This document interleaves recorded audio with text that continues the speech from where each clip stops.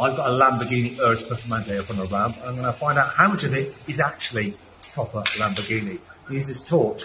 Let's have a look at some of the parts. So, the suspension arm. Oh, that says VW on it. What's up here? Oh, the rear wheel steering. Oh, that says VW on it. Let's have a look at the front here.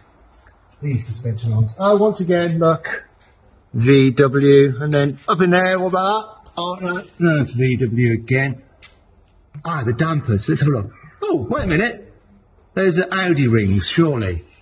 Let's move further back. See if we can find some Lamborghini bits. This bit? No. Once again, more Audi, more Audi. Let's go further back. Surely the rear differential. Is this Lamborghini? No. Once again, Audi. This is, this is an Audi part. Where are the Lamborghini bits? Oh, look, look, look, look. I found some Lamborghini. It says Lamborghini here on the exhaust.